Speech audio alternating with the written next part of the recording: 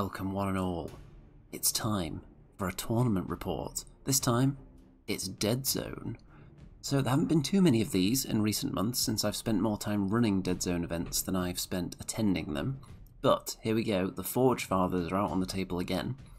And as I show you my entire strike team for this 150 point event, right there, you'll see that's not a lot of models for 150 points, is it, with the Forge Fathers? And that is true. However, I feel like I've kind of run the Plague into the ground now. I don't think I need to be playing as the Plague. If I'm not going to be playing tournaments very often, I would rather do something that's fresh and fun, and I haven't played Forge Fathers anywhere near as much as I have the Plague, but I've also had nowhere near the success as I had with the Plague, with the Teratons and the Plague Hounds. So, very successful, but they've been semi-retired for the moment, and the Forge Fathers are out. And, what have we got here? We have got a Juggernaut. Now, this is the slightly less expensive Walker, and also the slightly less expensive version of that Walker. So, the Iron Ancestor, who I really like a lot, especially the really expensive one, with the short range, really powerful guns. Unfortunately, it's just too expensive for 150 points, I think. So, we've gone for the cheapest possible Walker, which is the Juggernaut Torture, which has a nice AP3 drill for close combat and a range 3 flamethrower, which also has AP1 as well. So nice in combat and a good short range flame attack and setting things on fire is always good in Deadzone. We have got a Forge Guard Huskarl here, which is the second best or second most expensive commander you can take, not the Forge Lord but the Huskarl, and his special splat ability on the command dice is that he can reduce the AP of incoming attacks. So that doesn't have to be spent on himself either. So any of my models with armor, which are these three, get attacked by anything with AP, I can reduce that by spending one of his splat results on the command dice. Then we've got two Brokkrs here, who are just your standard infantry with no armor, but they are good at fighting in close combat, if they can get there. And the Brokkr Valkyr, the bike, which has to stay on the ground floor, but it's pretty tough as well. It's resilient, it's got evade, and it's just pretty good all around as well. It's got some nice shooting ability with weight of fire on its guns. And then finally we've got the Forge Guard right there. So not quite as good at shooting as the Huskarl, but just as defensive. So the Forge Guard, when they take their first wound, if they don't take a second one, then they can use their uh, life support system to remove that wound once. So, they have armor 2. All these three big beefy guys at the back there, armor 2, and then no armor at the front. So, uh, good evening, and I'm not sure which part of that uh, might be your name, so I'm just going to refer to you by the first bit of it, which is Raz. Says yay. Hello there. Unless you tell me what your name is, if you want to clarify that, that would be Uh, good for you if you want to be addressed. Into the first scenario, and it is scatter. So, what kind of missions do I think this strike team will struggle with? I don't think this one is much of a problem. All the objectives are close-ish together, and I don't want to be spreading out too much because I don't have speed apart from this guy who has to stay on the ground, so a lot of the objectives will be away from him. And I've got everything else is really slow. So slow and can't get off the ground level. So I don't want to be moving around all over the table to reach objectives. So this is a quite a decent start for me, scenario-wise. Everything pretty much in striking distance of another objective, or two objectives. Or even three, so I could be sitting on this one with a Juggernaut and then set fire to any of the other objectives, potentially. Would be cool. And then you deploy diagonals like that, and you have to put half your strike team in each, which can affect lines of sight so if you've got, for example, a big open bit of line of sight down there, you might not want to put the models you don't want to get shot in this bit. But then this one might have really bad lines of sight from there, or really good lines of sight, should I say.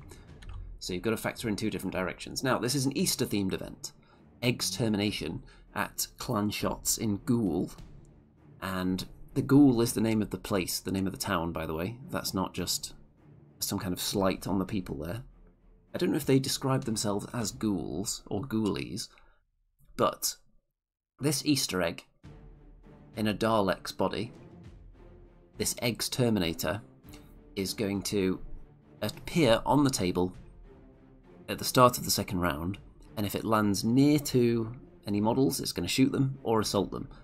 And it's got a pretty decent gun, and it's all around pretty scary. But if you can kill it, you get two victory points. And if you retrieve the egg after it's killed, then not only do you get to eat the egg, which is obviously more of a benefit than any in-game currency, but you also get one extra victory point as well. So if you kill it in close combat, you get three victory points. If you shoot it down, you get two, and then first one to go and grab the egg off the ground gets the third one. So it's not all bad if it lands near you. And there are the egg's Terminator tank's stats. So it can phase through walls, but it only moves one space.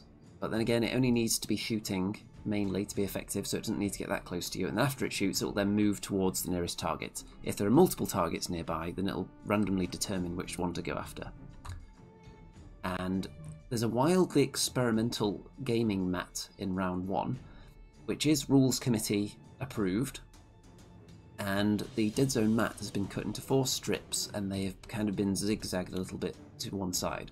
So it doesn't greatly increase the distance between any of the particular areas of the board, but it does make some interesting line of sight blocking as the edge of the table or the edge of the board here would block line of sight. So if you're starting in this corner here, you can't then see here, for instance, if you're standing there, because that is considered a solid object. So just something a little bit interesting in round one, and this may be something that works its way into the full Deadzone rules eventually, who knows. I think it's pretty cool. It doesn't change the game too wildly, so we've got two objectives on the higher level, so the bike can't get to those two, nor can it get to this one pointer up there. So the bike is pretty much restricted and can only go after this one because it can't leave the ground floor. So I may have to use it more for shooting if this one isn't a good choice. And there are no objectives on half cubes. Actually, I suppose this one. Yeah, because it's a bit, that's kind of a half cube, so the Juggernaut won't be able to go after that one because it's too large. So the Juggernaut can go for those two, though. The issue with that is that the Juggernaut, if it goes up there, there are some half cubes on all the corners, so there could be enemies there that I wouldn't be able to get my full fighting power against, because I wouldn't be able to enter the cube that they're in. So, for my setup, in the bottom left, which is this area here, I've got my bike, I've got one Brokkr, and I've got my General, the Forge Guard Huskarl, in the other corner, on the opposite corner of the table, which is up here, I've got my Juggernaut. Uh, I actually found out later that this is an illegal deployment and that you're not allowed to put any vehicles off the ground floor in deployment. I thought that only applied to the the ones that ride around and can't leave the floor, but apparently it's all vehicles, so that's probably illegal there. In fact, it definitely is. Then we've got another Forge Guard under there and a Brokkr. There are windows under here somewhere, so they're not trapped in there. They'll be able to dive through the windows. This Forge Guard, despite being really beefy, they're only size 1. Let's see, we've got another comment. I made a carbon copy of your plague list, uh, so my girlfriend can keep on winning while I make up other lists. Copying my plague lists can't possibly be a bad idea, because they seem to do quite well. Now, in this game, I'm up against the Mighty Enforcers. So we've got a sentry gun. We've got... I don't exactly know what everything is because they all look the same to me. But we've definitely got a burst laser there. We've got a dog drone. We've got an assault enforcer, you can see because he's got the knife on the end of his hand. We have got some pathfinders, I think, in there as well and there is a, a, really powerful AP weapon on one of the Enforcer troops as well, which I think is a thermal gun of some kind. Maybe it may well be that guy there. And then this is another Assault Enforcer with a knife. So they are, there's some of them hiding under the building there, and there's a couple on the roof who obviously want to dive straight into this tower and get the extra dice for shooting at me from height. But the really good AP weapon is only range 4, so it's not going to be able to do much without moving out first. So my opponent does some scout moves and some recon test moves and gets this, I think this is a Pathfinder, right up onto the top there, so he's going to be able to start shooting down. And what I was saying about lines of sight on this mission, because you obviously have to watch out for multiple directions, so it's more complicated than usual protecting your units from firepower coming in at them. So, then, moving on, this Pathfinder sniper, I think it's a Pathfinder sniper, climbs up right to the top of the tower, and the other one's actually gone inside the tower as well. And they're going to start blasting away, and this guy immediately kills Brokkr. So they do tend to die as soon as someone shoots at them, even though they've got decent defense stat, or survive stat, should I say. And uh, my opponent did have to use some of these command dice in order to facilitate that. Have I shown a picture of my command dice? Yeah, there we go. I've got some movement, which is good for the slow Forge Fathers, but no shoot dice, which is annoying. And the splat to reduce incoming AP. I really like using the Brokkrs because I think I've done a nice paint job on them, but they do tend to die quite easily. So I've moved to Forge Guard, this is in the top right of the table, I've just moved him into a position where he can't be shot by anything horrible, uh, which is down there. So he's sitting behind that solid wall. And then the thermal rifle decides it wants to take a nice shot at the Juggernaut immediately, so it comes out of his hidey hole, blasts away, but does nothing, so that's good. The dog drone then pins my bike. Bikes can be pinned, they just can't be scattered uh, for any frag or blast weaponry. They can be pinned though. There's, they're like a semi-vehicle, kind of a vehicle, kind of not a vehicle, so they obey some of the rules but not others. So this is quite a big deal because that's the main AP threat against my army, which has lots of armour. So the Juggernaut can probably go and kill that guy in a minute. And of course the Juggernaut and the Forge Guard cannot be pinned because they're all solid. So it's no good suppressing them. The Bike and the Brokkrs are more susceptible to that. So I moved my leader the Forge Guard Huskarl up onto this area. He's on the one point objective now, hiding a little bit behind this bit of terrain so no one's going to get a clear shot on him. If it was up to me, clear shots would either not exist in Deadzone or be very much reworked. Because it's one thing I kind of don't like about the game. Uh, there are a few things, but I make many of these known to the Rules Committee.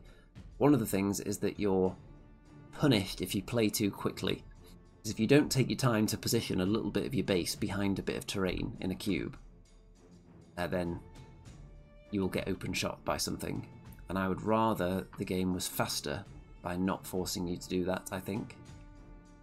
Anyway, it is in the game, so you gotta play by the rules. The engineer, so this is a, a an enforcer engineer.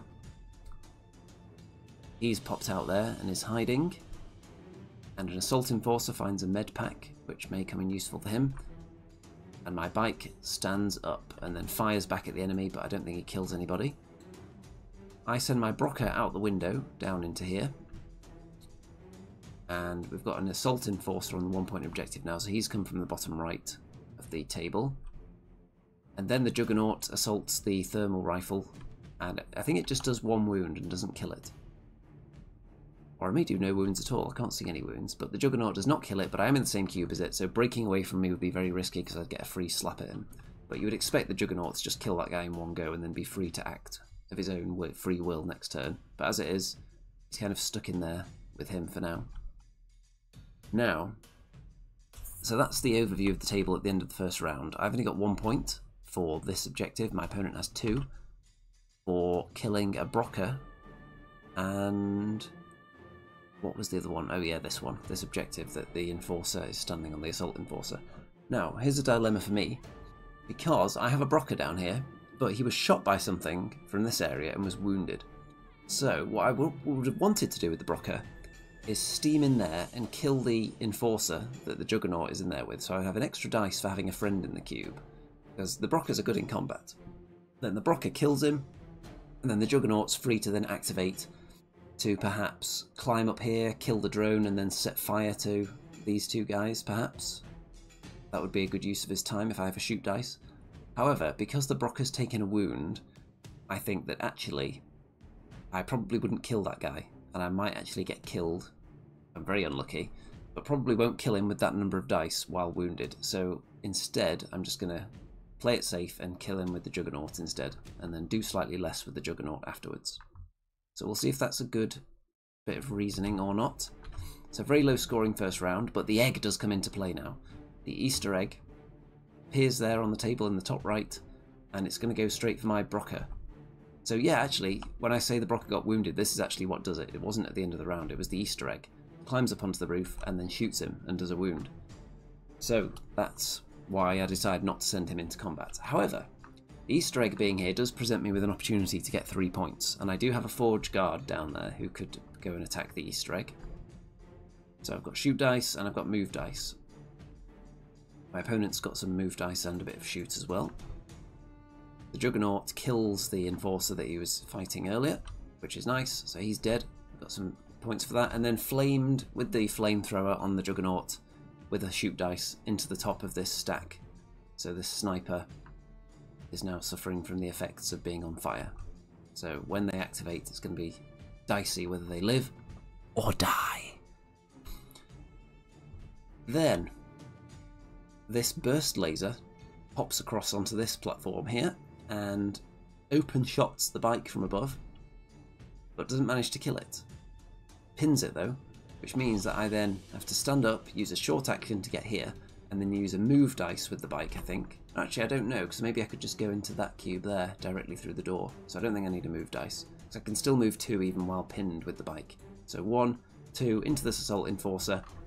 And bikes are very good in combat, so they fight on fours, they've got uh, Smash 1, which is good to get an extra dice, and the bike is bigger than an Enforcer as well. So I managed to do a wound. And then they both get pinned, which is a result of the dog drone who climbed up there and decided to pin both of them. Possibly with the intent to move the assault enforcer away without triggering a fight or to move someone else in to attack the bike. However, my Forge Guard Huskarl, my leader, decides what would be a great use of my time is jump over to this platform and open shot the burst laser and then assault the dog drone. So he jumps over, open shots the burst laser, but only does one damage and then rather than trying to shoot it again, I then just decide I'm going to kill that dog. And kill the dog drone in close combat. And I'm not too concerned about leaving myself open there because I'm going to be going first in the next round because I've got less models than the enemy here. The engineer pops up onto there and kills one of my Brokkrs, so I've lost both of them now. I don't even know if the other one was mentioned during this game. Both Brokkrs are down, so my Forge Guard that I talked about going after the egg. I don't think I had the the good combination of dice to climb up here and then open shot the egg at this point, so I think I just had to assault it and did a wound. So hopefully I kill it before the end of the game and get the points. And that is how the battlefield is looking at the moment. The Assault Enforcer jumps on that one point objective. And then, when the whoever it was at the top of this tower, I'm not sure if it was a Pathfinder sniper, tried to activate while on fire and died. So there we go. So who's picking up the points for this round? Oh, actually, you'll notice that the Assault Enforcer that jumped away there then left this cube open. So this guy then shot the bike, and the bike's dead. So I've lost all the Brokkr units. I've only got my really tough armoured stuff now. But I do have a little bit, a tiny little lead here. So I picked up some good points that round. My opponent got a few as well. And going into the next round. So I'm going to be going first. I've got two shoot dice and an activation dice, which is generally the dream if you're going first, at least until my proposed changes to activation come in. At my tournaments, I don't allow people to use the activation dice with their first activation of each round. So that gives both players the opportunity to move out the way with something before it gets horribly gunned down multiple times at the start of each round. I also don't allow stun grenades at my event, by the way. If anyone picks up a stun grenade at my event from a crate, then they have to use it as a regular frag grenade because I think stun grenades are bad for the game. And my opponent has got a move dice, shooting dice, and some extra dice, dice, dice. So, my leader is going to jump back over here and try and kill the assault enforcer, but only does a wound. But I do kill the burst laser first with another open shot before I jump over there. So good job from him. The Juggernaut is now up here on a on an objective and setting fire to the other guy that's climbed up to the roof and takes he takes a wound from that as well. However, you may notice the Juggernaut is now dead. That's because the engineer climbs up on here and takes an open shot, which was pretty unavoidable with the size of the Juggernaut's base. I'm not really going to fit it anywhere else and still be inside this cube. So I was more concerned about having an open shot at me from this direction, which this little tiny nugget of terrain here would have prevented, but I don't think I'm going to even fit it in there. So I couldn't have stopped it coming in from this way. And yeah, the engineer with no AP murders the Juggernaut by throwing in lots of extra dice into the shoot attack. So the Juggernaut's down, and I'm down to just my Forge Guard and the Huskarl. Speaking of the Forge Guard, another wound done to the Cream Egg. For anyone who's just joined this, by the way, and you wonder what's going on, this Easter-themed event has a, a random creature, a random construct, a random Dalek-like egg that appears somewhere on the battlefield and then attacks the nearest thing. And if you kill it, you then get victory points. And you also get victory points if you claim the egg. So if you kill it in close combat, you get more. If you shoot it down and someone else jumps on the egg, you'll have to share the victory points. So he's spending a, good amount of time killing that, which means I've only got one model contesting objectives, which is not ideal, especially since the enemy start to leap onto them at the end of that round. So, you can see that the enemy are spreading out onto all the objectives now. And at the end of that round, the evil enforcers make a bit of a comeback now and have a good scoring round there since I'm running out of models rapidly. Now, I've got move dice and loads of fight dice, which isn't great, but I can't re-roll them because I'm below half strength of my strike team now. However, the Forge Guard does kill the Easter egg, which gives me another three juicy points, so that's going to be big, and I also get a cream egg as well. Then, my leader kills the Assault Enforcer that he was in a cube with, and then attacks this uh, Pathfinder in the other cube, and so, because my Forge Guard killed the Easter egg in its own activation, because the Easter egg activates first and tries to kill if it's in an occupied cube, so I was able to kill it by fighting back against it. Which means that this guy hasn't activated yet, so he can still do something useful. And what happened was, the engineer jumped from this objective over here so he could get a shot at my Forge Guard, uh, which meant that the Forge Guard then jumped over here after surviving the shot, jumped up here and murdered the engineer. So, loads of dead enforcers, and you can see here that I think this one tried to maybe break away from my Huskarl and then got killed. So look at that, a big scoring round 4 for me. The Enforcers have a disaster of a round, and that is an 18-3 win for the Forge Fathers. So it's first to 16. So obviously very close game, and being able to kill the Easter egg with him was obviously important. Although, of course, if the egg hadn't come in, he would have been able to actually contribute and maybe killed some of the enemy. So, it's that could divide opinion on whether the Easter egg coming in was a benefit or not. Course, I got the points, but he spent this whole game fighting it. I was kind of one very expensive model down for the whole fight. But the two heavily armoured Forge Guard units survive the game, which is nice. That's what they're there to do live and not die, ideally. And on to the next round. So, here's the terrain layout for game two. So, even though this is a big landing platform on the top, there is actually a lot of line of sight underneath it, which will be visible in the next photo. There you go, you can see right through to a lot of it. And I'm up against the filthy, disgusting plague on Divide and Conquer. And this is one I've got mixed feelings on this one because for my strike team, having to contest both sides of the table isn't that great because they're so slow. On the other hand, I do have a couple of tough things that I could throw in each direction. It's not like I only have one unit that's a threat. I've got three really good armoured units and one pretty tough all-round fast unit. So I can potentially contest two sides. So it's not the worst. And here's my setup. So I've got the Juggernaut under there. I've got three models in a cube, which should say to you that I'm not facing any suppression weaponry at long range, and I'm not facing any mortars, for example, because I wouldn't put multiple models in the same cube under those circumstances. And I've got a Brokkr and my Skull up on top there. So what am I up against? Well, I'm up against the Plague Sentient, who is pretty good at fighting, but his splat allows these aberrations to ignore having to take a rampage test and just auto pass it basically for a splat, which is really good. And there's two aberrations which are significantly better at fighting than anything I've got. But the one downside to aberrations is that they're not solid, whereas a lot of my stuff is. So if I can get them pinned and then assault them, then they're nowhere near as potent because they won't be able to use their smash, which they only get during fights, and they won't be able to use their fight stat, which is on a 3 plus. They would have to survive instead. So they're much worse when they're pinned. So if I can pin them, that's the game plan. There are two of them though, so one of them can conceivably go for each side, which is kind of terrifying because there's nowhere I can be safe from them while also scoring points. There are two flamers in there as well, so setting fire to a Juggernaut is potentially a good way of stopping them doing anything because they only survive on fives. They're quite likely to fail the flame test when they're on fire.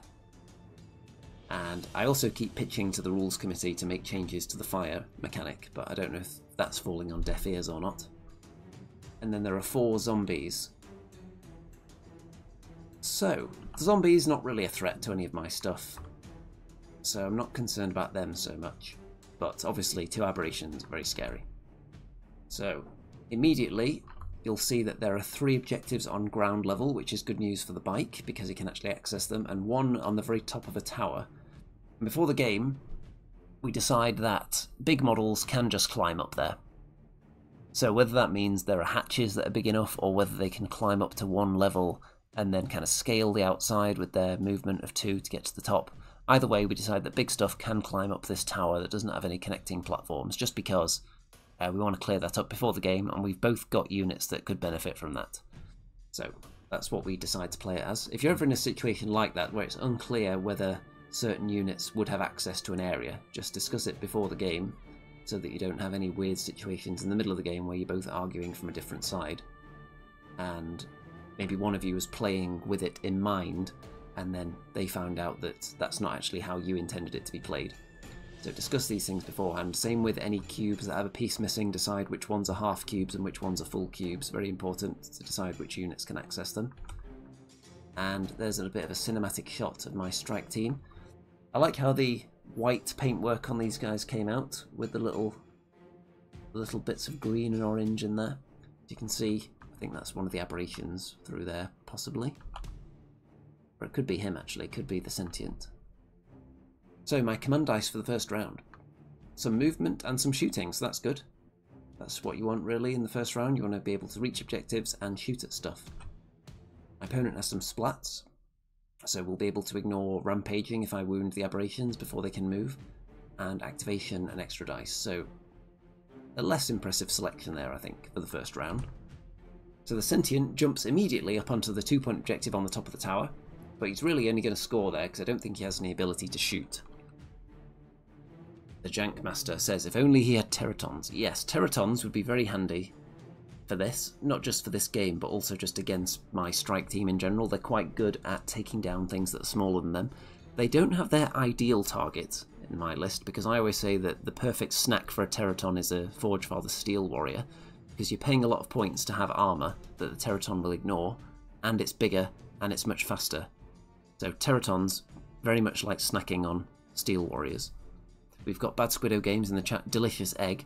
Yes, delicious eggs were available at this tournament. Not only can you win the cream egg during each game, but there are also large Easter eggs available as the trophies slash prizes for the event as well.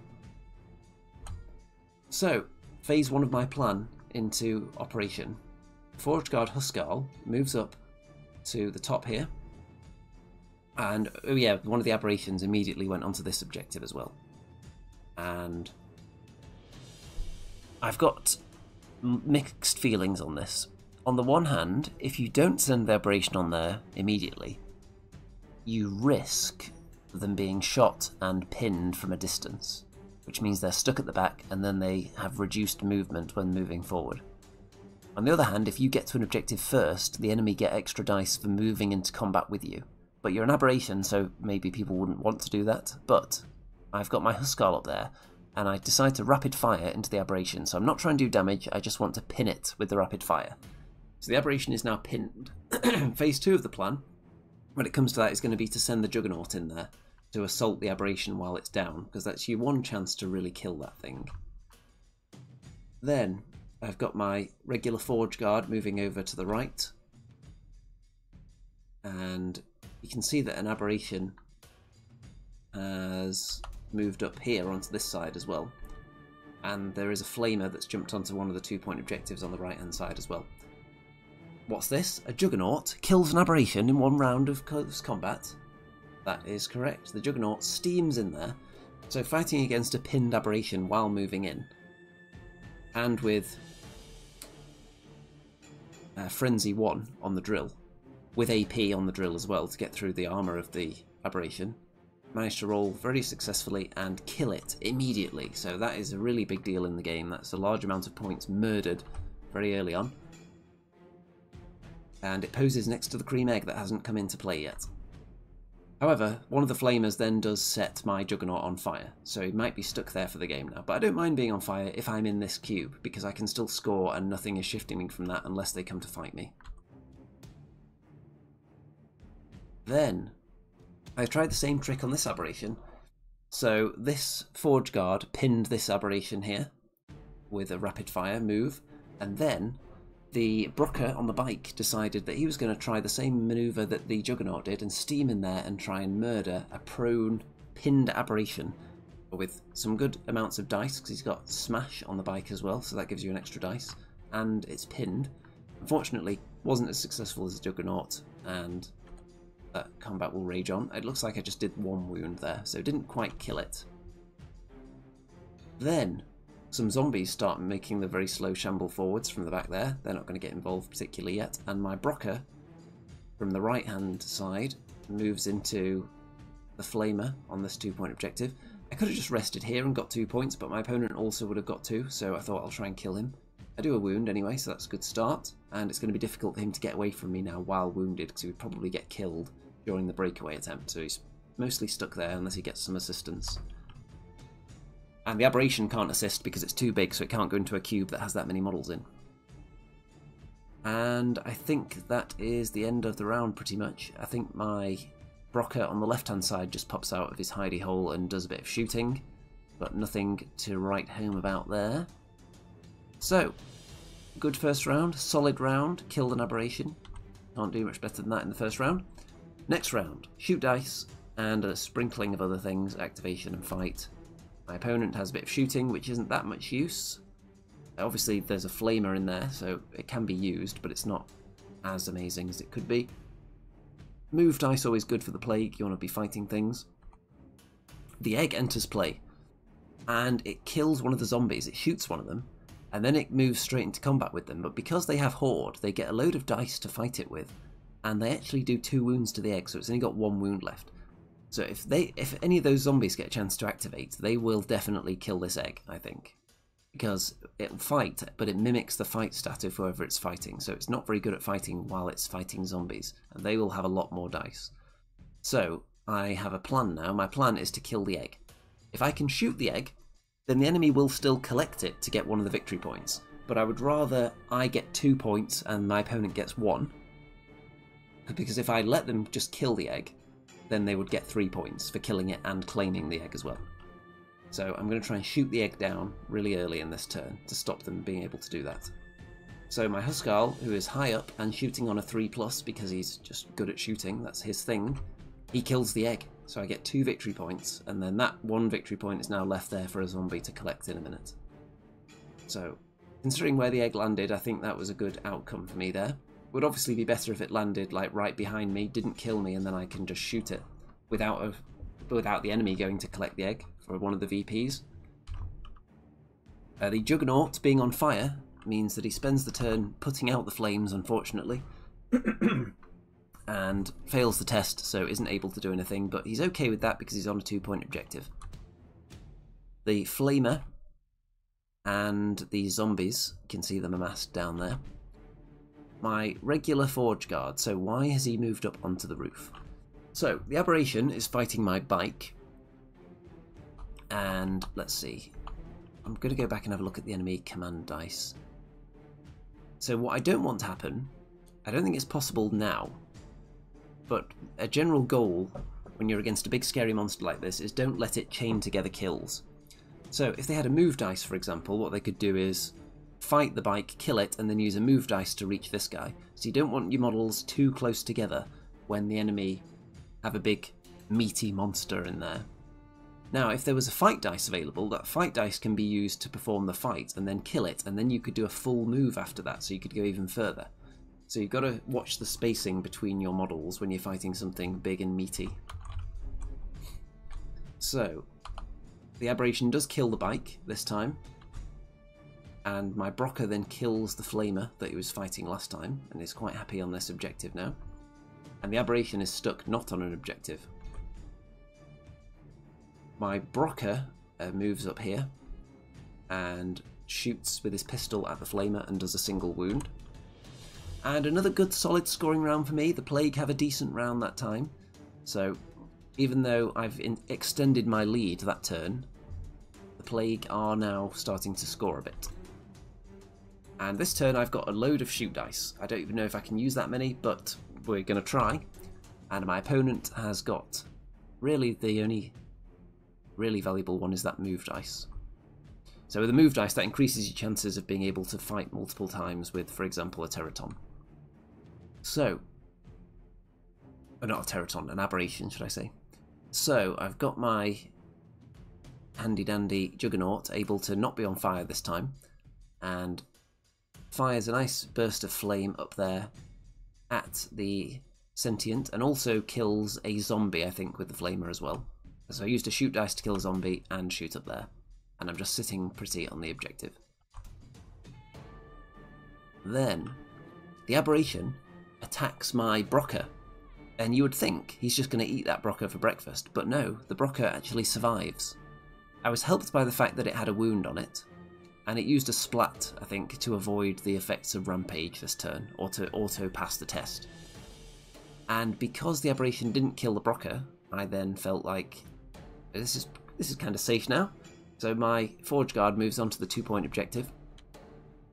Down here, my other Brokkr moves up and opens up some crates, and I find a stun grenade, but I throw it away because I've also found an adrenaline shot, which gives you an extra bit of speed when you use it. So I, I would like a stun grenade. That's quite a powerful weapon, even though I don't think it should exist in Deadzone. But that's another topic for another day. But what I want is this, because it's going to allow me next turn to climb right to the top of the tower with this guy and get into a fight, so that would be nice. Although, not even into a fight anymore, because the Sentient jumped down to fight the Juggernauts, but didn't do anything. So I can go up unopposed, maybe, into that cube on the top. And there's only a wounded Flamer up there, so if I can assault him, I would almost certainly kill him with this Brokkr. So it's going quite smoothly for the Forge Fathers still. A zombie has a go at killing the Brokkr and does actually do a wound to him, which isn't very friendly. And... Oh no, he doesn't do a wound. I put a wound down initially and then remembered, oh wait, I've got uh, Resilient. And... No, wait, that's not what happened. No, I remember. It's not Resilient, it's the bike that has Resilient. So, the Brokkr, because I had one dice left, and it was about to be the end of the turn, I realised, oh yeah, I'll just use that for a reroll because there's nothing else to use it on. So I used it for a reroll and got another success, and then didn't get a wound because of that. There is an incident somewhere in the tournament where I forgot that I had Resilient on the bike and was, was going to take it off as a casualty and then remembered, oh, actually, I've got Resilient, and then rolled and then saved it that way, but that's a different incident. So, low scoring round 3. I'm still poised to reach 16 this round. As you can see there, I don't need a lot of points at all. I'm already on 15 and my opponent's only on 9, so I just need one more point and stop my opponent scoring 7. So with that in mind, what am I going to do from this position? I do not want the aberration to kill these two. Uh, that would be a good start for him because he'd get 1, 3 there and then 2 for being on this objective at the end. So that would be enough to reach 16, killing those two and being on the on the scoring area. So we can't let that happen, so I need to do something about that, ideally. I also need to score a point myself, so I'm going to try and get this guy up onto the roof to fight the Flamer. Or just shoot as well with this, with my Huskarl. So let's see what I do. I I think I pinned this guy. Uh, the sentient. Then the aberration strikes, and it kills the Brokkr, but only at the second attempt, and it had to use a fight dice to do it, which means that he's now used long action and a dice, so he can't then use a move dice, for example, to get in here. He's got no move to get there, so this bit is safe.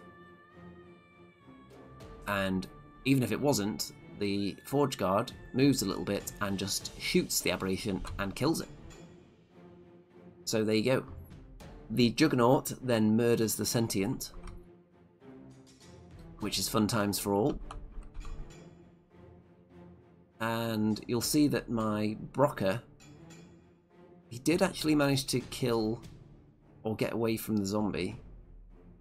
Made it up to the roof, but then the Flamer killed him. So, final score 25 to the Forge Fathers, 13 for the Plague. So, a nice juicy win. Now, this result should have been a bit closer, score wise, but my opponent, upon realising that he needed to score points to try and salvage a draw, was kind of throwing models into combat towards the end of the game, so things were getting killed. So that helped me score more points. On to the next round. And it is Chem Chase. Do I think this is a good scenario for me? Not at all, because the. Well, it could be. If I get very lucky, it could be good for me. Because the objectives move to a random location at the start of each round, that means that my very slow strike team could possibly have to go from one end of the table to the other in one go and then back again. But I can't rely on being able to score objectives. I do have the bike though, but as you'll see from the layout of the map in a minute, then most of the places where at least one of the objectives will end up are above ground, so the bike can't get to them. So deploying all the way along the back line, so on the right flank, we've got my leader, the Forge Guard Huskarl, we've got the Juggernauts, and the reason they're hiding in this corner is because there's good blockage to the enemy, and you'll see why in a minute. I've got my regular Forge Guard here, bike out on the left, and I've got a Brokkr under this building here and another one down there. I'm up against, this is the top left of the opponent's area, there is, this is the Rebs by the way, there is a Grogan with an AP3 weapon. So he is actually quite scary. That's the one thing that'll punch straight through my armour, and also it means that if I have a splat result, it's pointless spending it to lower the AP, because I'd only be lowering it to AP2, so it's still ignoring my armour. So unless I have two splat results, then I can't negatively affect this guy's AP. There is the rebel leader there. There are some Sorak. So there are two regular Sorak with the blast weapons that just blast you away and don't hurt you, and then there are two Sorak Swordmasters who are pretty good in close combat. Then there are two Rebel Teratons, which are obviously quite terrifying. And there is a Craw. So the Craw has been armed with a stun grenade, which means he can do aerial deployment. So if the Rebs go first, he can aerial deploy near my lines and then immediately throw a stun grenade at the biggest threatening unit, and very likely to make them activated for the round. So hold them in place. So this is why I don't think stun grenades should exist. I don't think the fun value of them I think that is so. The negative effect on fun, I would say, is far greater than the tactical depth that you gain from them existing. So I would just completely write them out of the game, and I do ban them from my own tournaments. So, uh, this guy's also, with the aerial deployment, you can drop down anywhere, except in the enemy deployment zone. So if you know you're going first, you can deploy really close to them. So here are my command dice. Some nice shooting and activation, a bit of fighting, probably not much good in the first round. And my opponent's got some fighty, which is really not that great in the first round either. And some movement. Movement is good for Teratons because then you've potentially got four cubes of movement you can make with a teleport. And so there's the overview of the battlefield. The Craw has come down right here, I think so it's going to be able to throw its grenade. You might recognise this table from game one. That's because I was recycled back onto this table, and I did set my stuff up on this side, but my opponent won the recontest and chose that side, probably because it's got a tower to put the Grogan in. So, it's going to be interesting. Do I have a plan? Well, it depends where the objectives are. If they wildly spread out and I'm nowhere near them, I'm not sure I could just fully commit and go after killing the things that I think are a threat, like the AP3 Grogan. But if I do that, I'm not going after objectives. And I'm also in fully in its line of sight to be shot while walking towards it. The Grogan is quite happy up there because it doesn't have to contest objectives because there are Teratons. I don't really have the luxury of perching someone up here for the whole game and their only contribution is shooting because I don't have enough models. So if a couple of them get shot down, whoever's up here would actually have to go down there and engage the enemy. Whereas my opponent's got a lot more disposable stuff that can be flung onto objectives without affecting the overall strategy. So, the Juggernaut has a stun grenade thrown at it, so that's activated for the round, so it can't do anything. The Rebel leader pops up and shoots a wound onto the bike. My regular Forge Guard jumps up and I think, you know what, this Grogan is a big threat. It's done loads of damage to me in practice games. So I jump up on the roof and blast away at it, but do nothing. It then climbs up to the roof, fires back, and kills the Forge Guard in one go. Yeah, so that's my experience of fighting against this guy so far. Taking shots at him, not killing him. Now, on average, I'm probably not going to kill him in one shot, because he's survived 4 and he's got resilient 1. He doesn't have any armour, but on average he's going to get a few survive successes. So you're not expecting to kill him with every shot, but I would also not necessarily expect a Forge Guard to instantly die to him either. He is ignoring my armour, but I do survive on fours. So he is a good choice for taking down those kinds of units. So my bike then moves into the middle, but becomes pinned from being shot by something else. I've moved my Brokkr up slightly, and you can see a Teraton is hiding under this platform in the middle, ready to strike. And another Teraton is on the two point objective there. Now. Oh yeah, I didn't really point out where the objectives landed, did I? So one of them is clearly here. And the other one is... I got a picture of it. Is it in the overhead view? One there and one there, there you go. So that's where they started in the first round. And there's a Teraton on one of them. But I'm going to be going first in the next round, so I can try my old tried and trusted trick of maybe pinning the Teraton with something, and then assaulting it, assuming I've got a move dice with the Juggernaut. So that's going to be my plan, if I get an activation dice as well. So here we go, two activation dice and the move dice, and a shoot dice, so that's a perfect combo for doing this manoeuvre now and my opponent has got some splats which are used to reverse the stats of an active model. So if you're shooting with a Grogan, for example, you can change your shoot stats to your survive stat and make it shoot on fours. So a splat is a very good way to fuel that model into shooting effectively. The egg comes into play though, and it takes a shot at my bike, I think. Or I think it might go for this guy actually, this Brokkr. So it's making its way forward. And my bike decides to assault the egg. Because my bike, who was pinned at the end of the last round, realizes there's nothing worth fighting over here because the Teraton is about to get attacked by my Juggernaut. So I decide, actually, what I'm going to do is. I think actually I might pin it with the bike first and then assault the egg. So you're getting good value out of that. So I have to stand up from being pinned. I think I was pinned. And then use a shoot dice to shoot the Teraton and then make a one cube move into attack the egg. And I've got a Brokkr hiding behind this wall. Uh, so, what actually happened, let me just wind back a bit. So this Teraton that I was planning to assault I actually realised, you know what, if I move my leader to the edge of this building, I can actually get an open shot on him from up there with AP1 and shooting on threes. So I try that instead and kill the Teraton. So this is actually the second Teraton here, which assaults the Brokkr underneath. So he's on the roof for photo purposes, but with one Teraton down, the other one comes from over here and teleports through the wall into there. Now, my opponent at this stage informed me that he'd forgotten or just didn't realise the Juggernaut was not size 4 and it's actually size 3, which means that if I climb over there, I can get in through the door. So he thought he was blocked off safe from the Juggernaut. Now, it is a bit of a point of contention, the size of the Juggernauts, because it's three, but clearly it's massive. It's bigger than most size 4 models in the game, it's much bigger than the Iron Ancestor, which is size 4. So I feel like the rules team and the design team obviously didn't put their heads together on that one.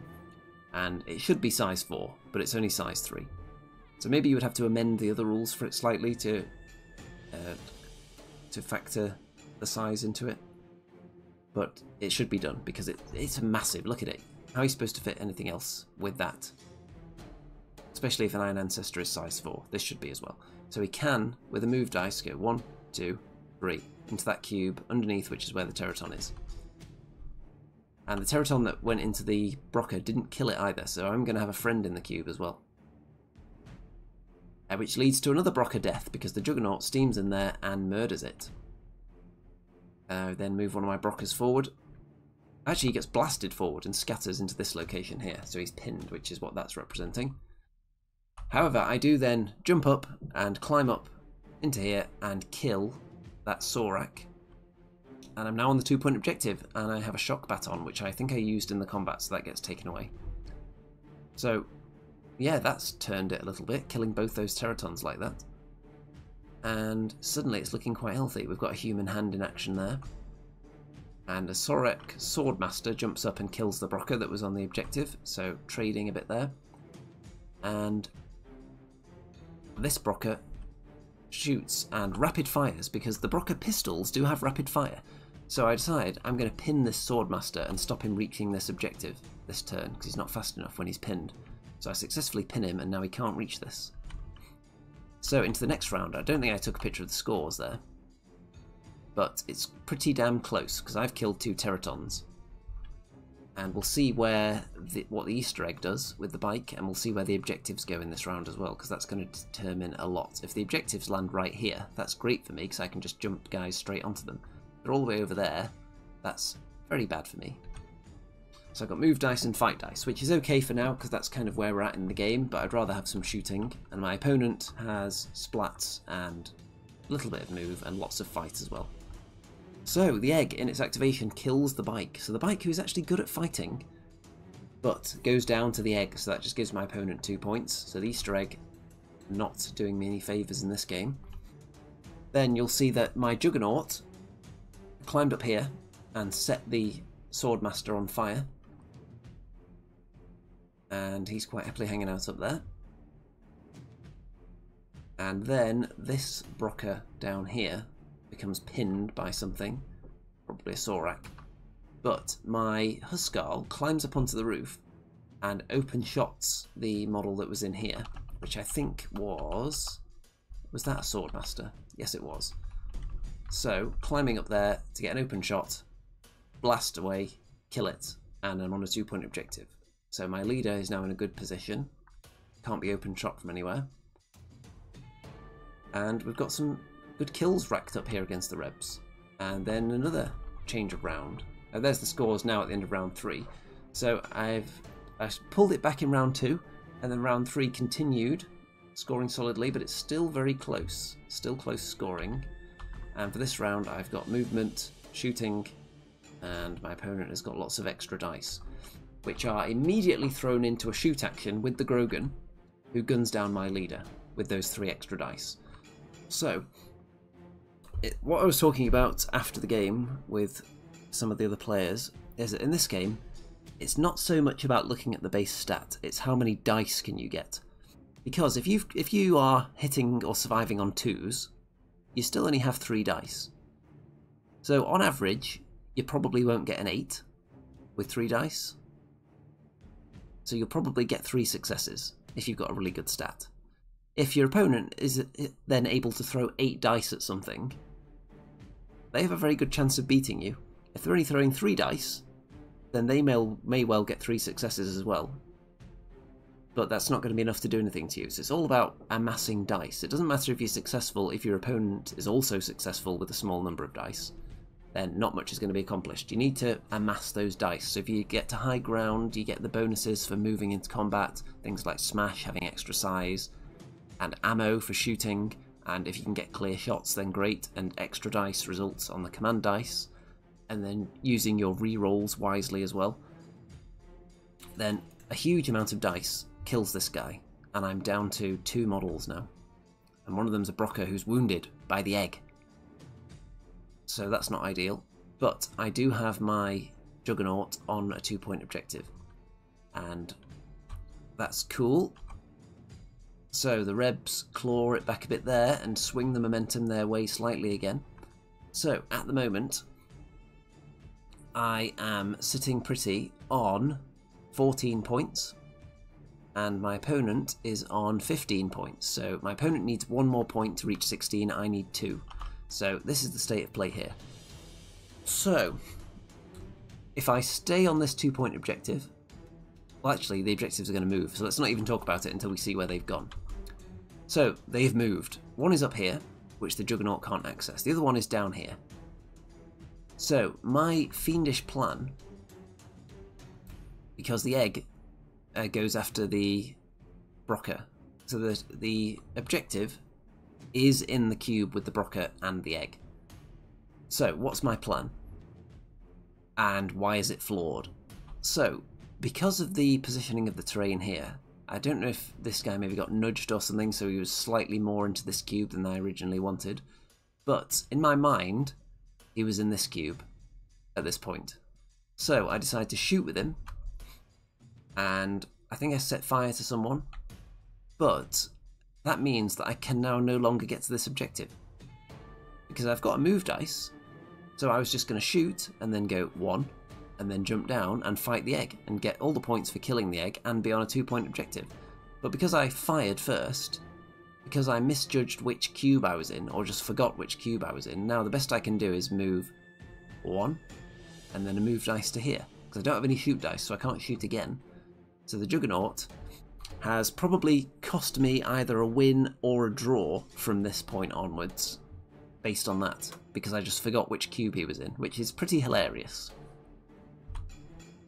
And of course, there was this incident earlier where my opponent misjudged the size of the Juggernaut as well, and thought he was inaccessible to him. So a couple of Juggernaut-based mistakes in this game, one on each side. And yeah, this is going to be tricky now because my Brokkr's going to get shot off by something, and does, and that's the one point that was required for the win. So there you go. If the Juggernaut had been able to get down there because I hadn't incorrectly figured which cube he was in, then almost certainly would have killed the egg and got a load of points, which would have been at, at worst a draw then. And if the Brokkr still dies, it would have been a draw, which is obviously better than a loss, but it's very close. And the way this tournament is scored, uh, you add your victory points onto your points total. So getting a big amount of points in a loss is still a good way to go. Very unfortunate though with that final me forgetting which cube I was in incident.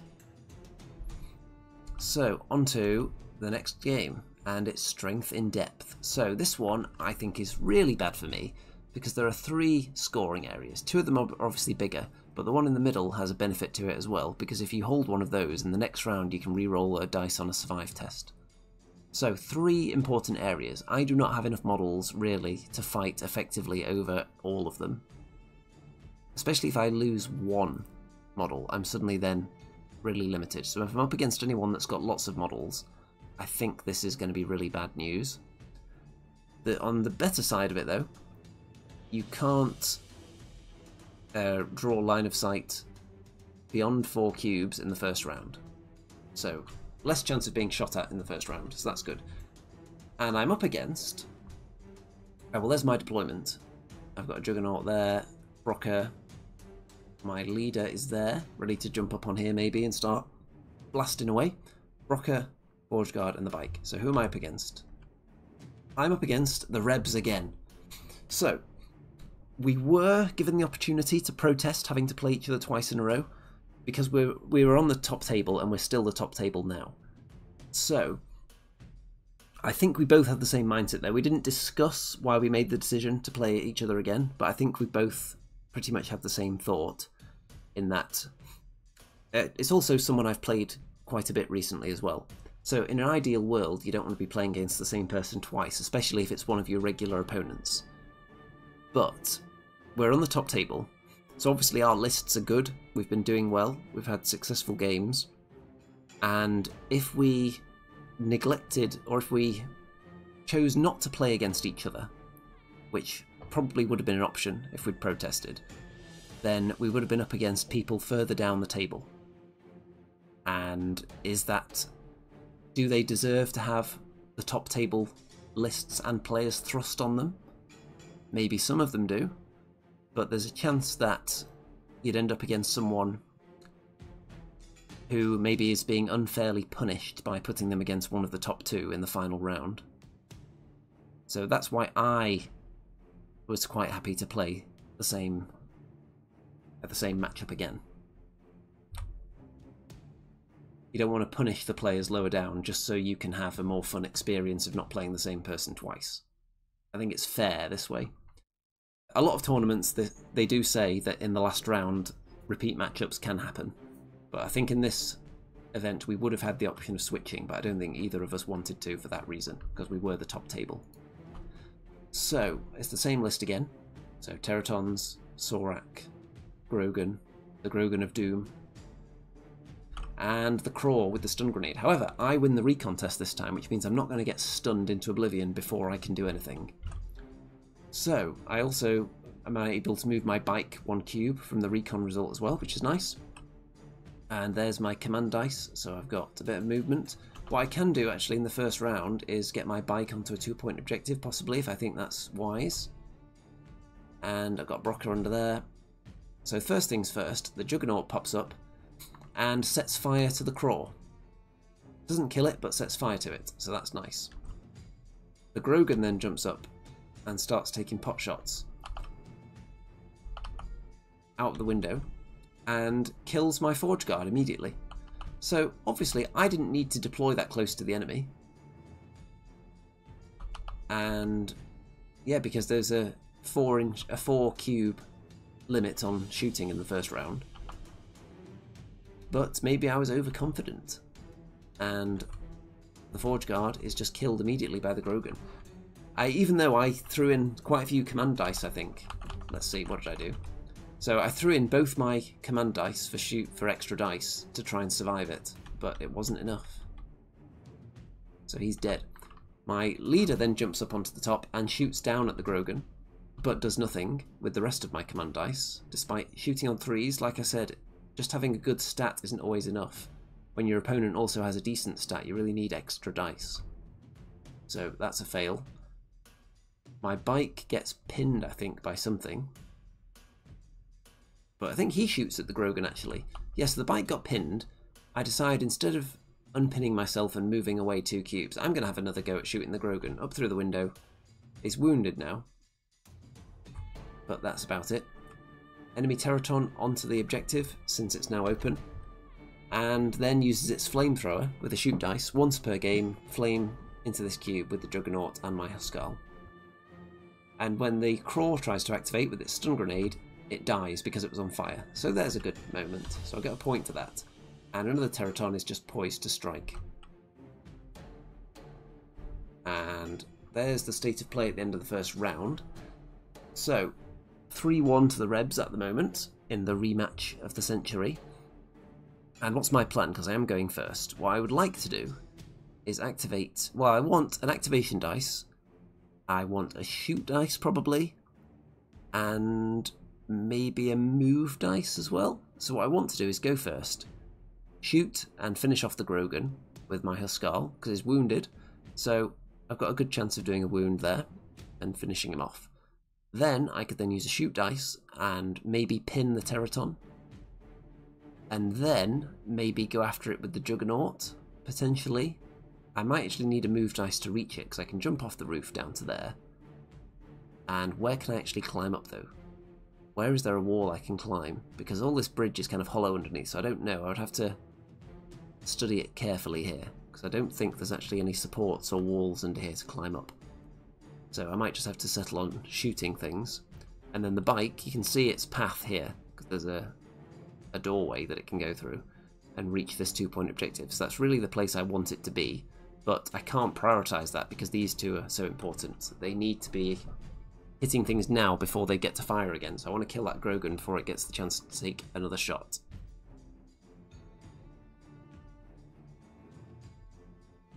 So,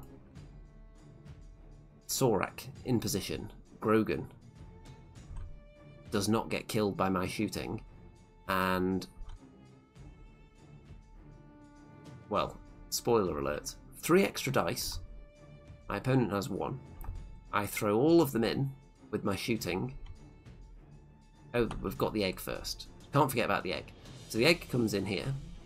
The Easter egg that's going to attack something. Randomly positioned on the table, it appears here. Drops down and shoots at my bike.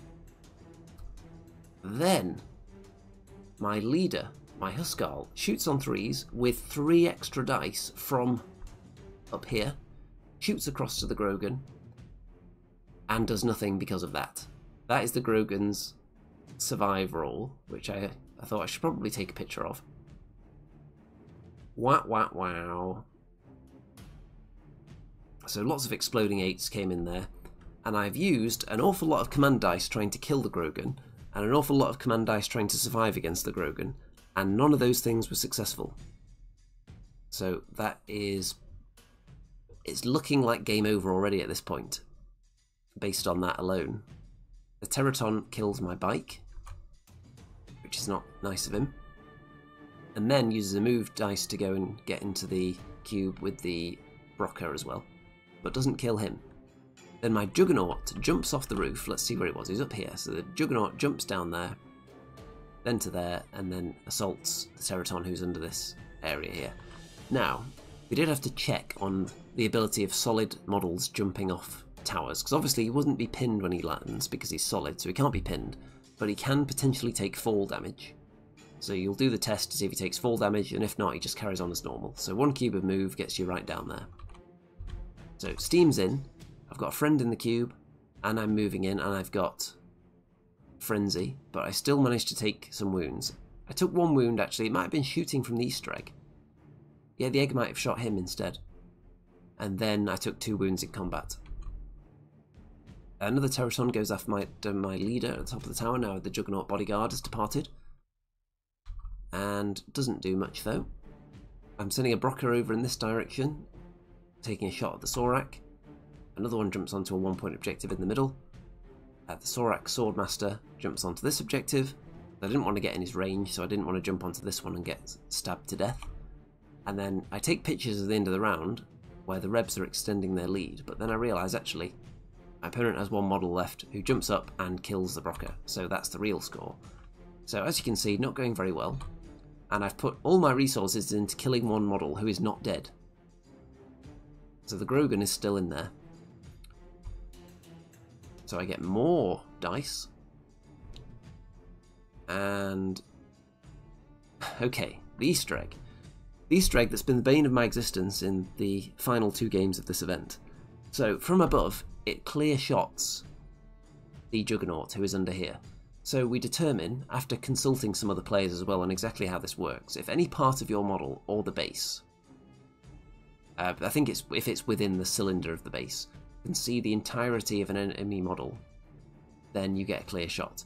So from above, there is a hole in the floor, so this part of the base, theoretically, can see almost everything except to like right up in the ceiling in this corner and the Juggernaut would have actually been here if it would physically fit down there.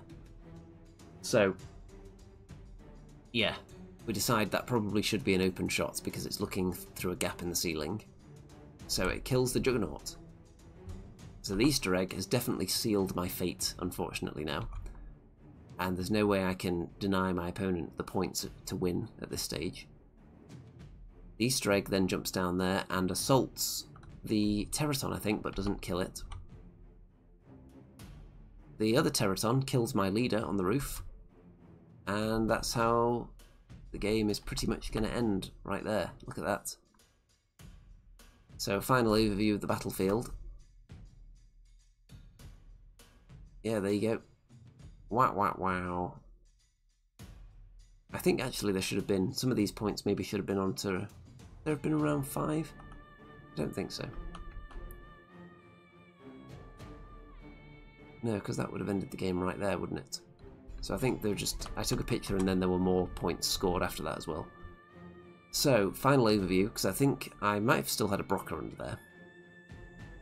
This was quite a tough matchup, I think. This mission isn't great for my strike team, having to spread out across everywhere to pick things up. I could have obviously deployed further back and waited for the the fog to dissipate before moving into shooting range, and I gave the Grogan a chance to shoot me from this tower. However, the Easter egg did kill one of my models, my most expensive, or one of my most expensive models.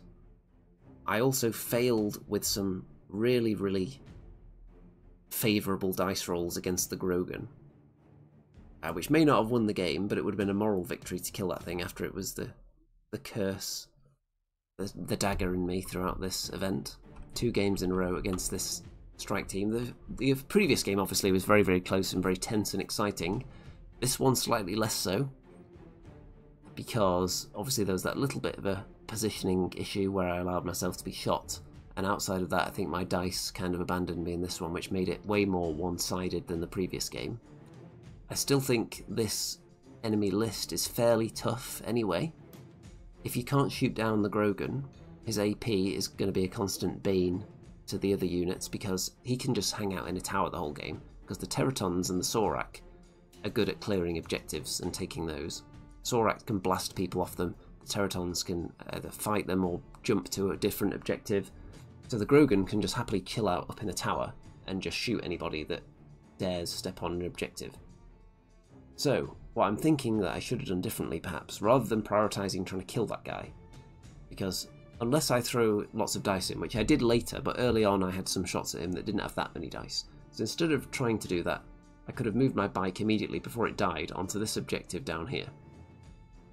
And then at least if a Teraton goes over there to fight him, he's further away from the action. So that could have been a thing. What else could I have done differently?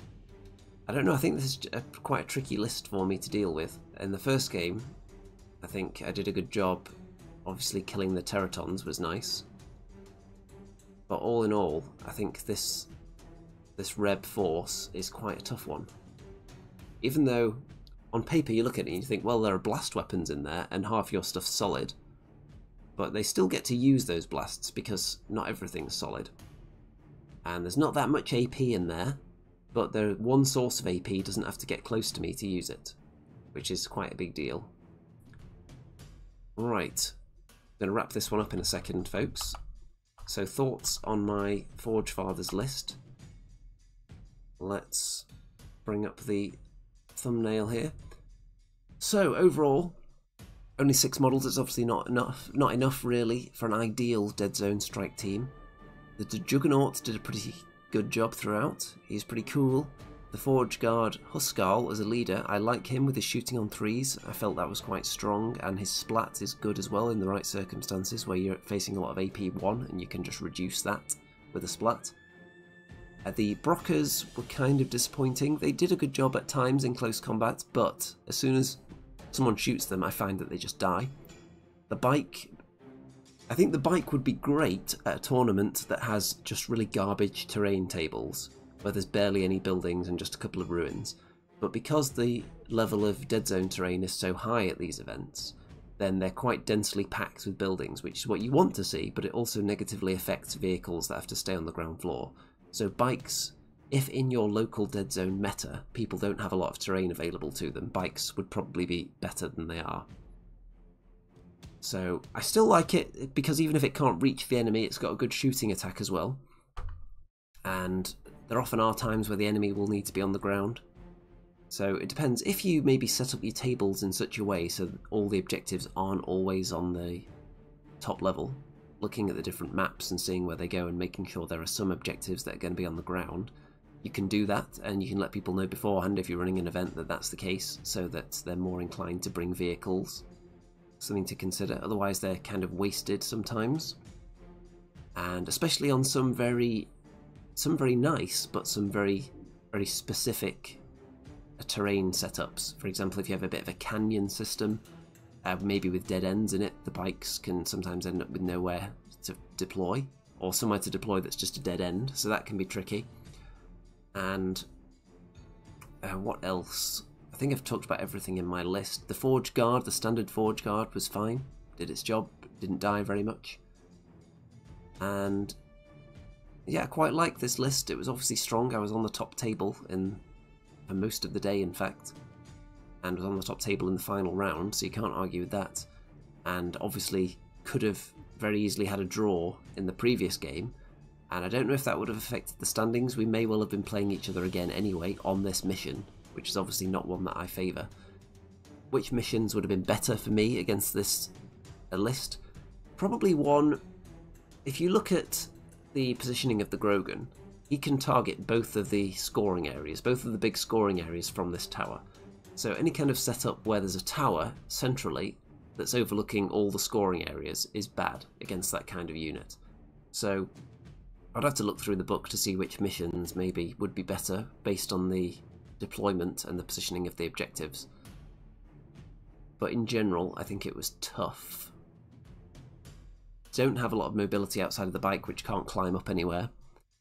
So, might be worth persisting with this list archetype and making some tweaks.